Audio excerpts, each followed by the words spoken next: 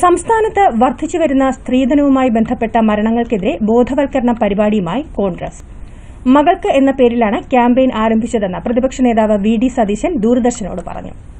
മകൾക്കൊപ്പം എന്നുള്ളൊരു ക്യാമ്പയിനാണ് നമ്മൾ തുടങ്ങിയിരിക്കുന്നത്. സമീപകാലത്ത് സ്ത്രീധനത്തിന്റെ പേരിൽ കൊലപാതകങ്ങളും ആത്മഹത്യകളും കേരളത്തിൽ വല്ലാതെ വർദ്ധിച്ചു വരികയാണ്. ഇത് കേരളത്തിന്റെ ഒരു അപമാനകരമായ ഒരു കാര്യമാണ്.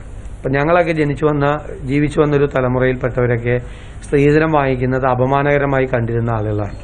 നാണക്കേടായിട്ട് വിചാരിച്ചിരുന്ന ആളുകളാണ്. പക്ഷെ ഒരു പുതിയ തലമുറയിൽ പണത്തിനോടും പൊന്നിനോടും വാഹനങ്ങളോടും ഒക്കെ ആർത്തി വരികയാണ്. അപ്പോൾ കച്ചവടമല്ല കല്യാണം. ഇത് ഇത് കേരളത്തിൽ വർദ്ധിച്ചു വരാൻ പാടില്ല. ഇനി ഒരു പെൺകുട്ടി പോലും ആത്മഹത്യ ചെയ്യുകയോ കൊല ചെയ്യപ്പെടുകയോ ചെയ്യരുത്. സ്റ്റേറ്റിന്റെ ഒരു പ്രൊട്ടക്ഷൻ വേണം. സ്റ്റേറ്റ് ഉണ്ട് അങ്ങനെയുള്ള പെൺകുട്ടികളെ സംരക്ഷിക്കാൻ ഒരു ധൈര്യം ഉണ്ടാകണം. പൊതുസമൂഹത്തിനും ചില ഉത്തരവാദിത്തങ്ങളുണ്ട്. ആ ഉത്തരവാദിത്തങ്ങൾ പൊതുസമൂഹം ഏറ്റെടുക്കണം. വിവാഹമോചിതയായിട്ടോ സെപ്പറേറ്റ് ആയിട്ട് വന്ന ഒരു പെൺകുട്ടി ഒരു മോശക്കാരിയൊന്നുമല്ല പിന്നെ പെൺകുട്ടികൾക്ക് പരമാവധി സ്വയം പര്യാപ്തരാകാൻ വേണ്ടി ശ്രമിക്കണം. ഞങ്ങൾ ഉദ്ദേശിക്കുന്നത് ഇതൊരു നല്ല ക്യാമ്പയിൻ നടക്കണം.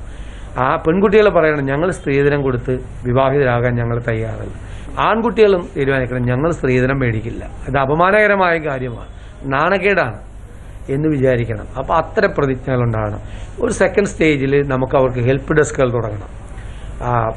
നിയമപരമായ സഹായം അവർക്ക് ചെയ്തു കൊടുക്കണം. അവരെ സാന്ത്വനിപ്പിക്കണം. ആത്മഹത്യ എന്നൊക്കെ പറഞ്ഞ ഒരു നിമിഷത്തിന്റെ സമ്മർദ്ദമാണ്.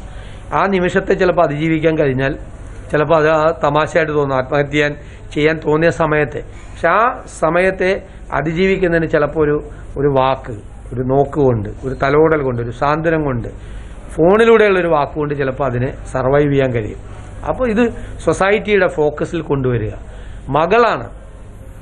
മകളെ ചേർത്ത് നിർത്തുക ബോധവൽക്കരണ പരിപാടിയുടെ അടുത്ത ഘട്ടത്തിൽ ഹെൽപ്പ് ഡെസ്കുകളും നിയമപരിരക്ഷയും ഉറപ്പാക്കുമെന്നും വി ഡി സതീശൻ പറഞ്ഞു.